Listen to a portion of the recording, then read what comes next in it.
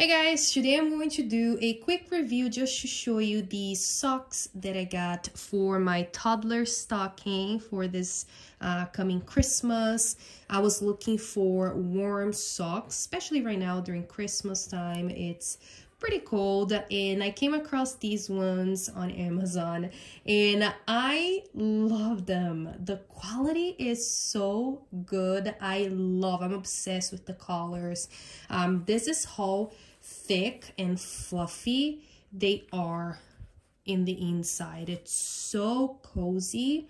Um, it also has this anti-slip uh, bottom so your toddler is not falling all over the house especially if you have uh, tiles like we do on the floor. Um, yeah the quality of the socks in general is really good the material they used. Very soft on the outside and inside.